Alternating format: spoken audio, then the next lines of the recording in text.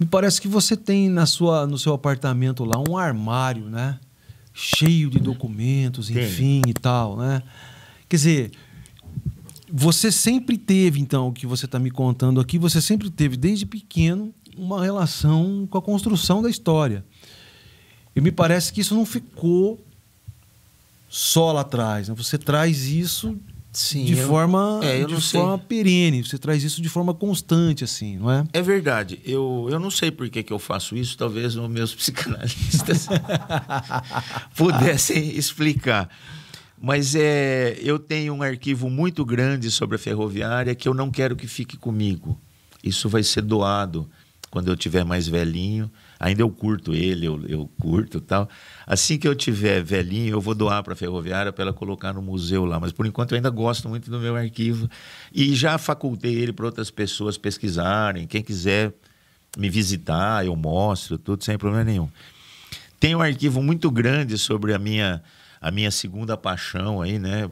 Depois da ferroviária, que é o Palmeiras, que também muita gente já, já pesquisou, etc. Tenho coisas sobre a seleção brasileira bastante. Então, então a, a sua documentação já gerou outros Já, livros de já. outras pessoas, dissertações, Já, teses, enfim. Quer dizer, isso é muito importante a gente falar aqui, porque é uma fonte é uma fonte primária de consultas, né? De- É, eu de- tenho essa mania de guardar de- papel velho que os meus de- amigos da história. falam. né? Isso. Isso é fundamental para quem estuda história, para quem gosta. E não só, eu, eu, eu, eu, eu tenho também, eu trabalho, trabalho já há 35 anos no Hospital Universitário da USP, lá em, em São Paulo.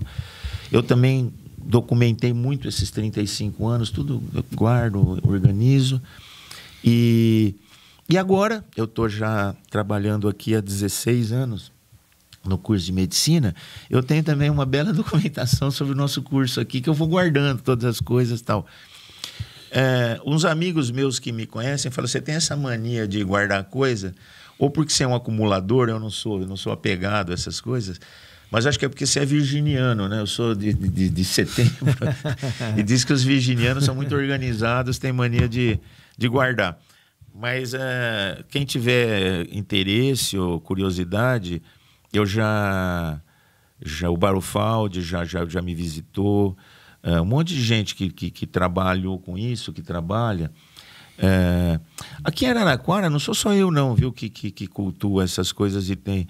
o TT Viviani, que é um fotógrafo famoso aqui na cidade, um jornalista muito famoso, formado aqui na nossa Uniara, também tem uma documentação fotográfica de memória, de documentação de, da ferroviária e do futebol de Araraquara muito Então- grande. Então, eu ia, eu ia te falar, a gente foi gravar o um próprio programa. Pascoal Gonçalves da Rocha, Então, a gente o Aldo fo- falando Comito, nisso- o Barufaldi, o Wilson Luiz, tem muita gente que interessa, o Alessandro Bock. Então, por falar nisso, a gente foi fazer um, um, um bate-papo com o Vica lá no Museu de Reminiscências da Ferroviária. Não sei se você já foi visitar Já, lá. já. Então, ali é do Pascoal, era, era o acervo do Pascoal Gonçalves da Rocha, Isso. que agora foi parar ali embaixo, tal. Eu até falei pro rapaz lá, com o Rodrigo Soró, eu falei, olha, você tem um, você tem um acervo aqui gigantesco da ferroviária. Você pode transformar isso aqui numa documentação, você pode transformar isso aqui num livro de tanta história que você tem aqui. Ele falou, não, vamos pensar nisso. Eu falei, ah, se você quiser depois uma ajuda, a gente está à disposição, porque a gente entende um pouco, enfim, tal, né? Então, assim, ali você também tem uma fonte significativa, né, de informações. tenho. Talvez- Tem muitas fotos, né? Tem. Tem, mas ali é dividido, né? Tem o- as fotos do basquete, tem as Isso. fotos do vôlei, tem as fotos do futsal, né? Então, uma das coisas que eu, que eu, que eu conversava com, com o Pascoal, a gente não conseguiu fazer isso com, em vida do Pascoal, é que os documentos eles têm pouco valor se eles não estiverem organizados. Se você, Sim. então talvez o que e- e ele não conseguiria fazer isso sozinho com todo aquele acervo. Ele precisaria de um, de um aporte de gente que ajudasse essas coisas todas, pessoas, arquivistas, museólogos, tal, para ajudá-lo.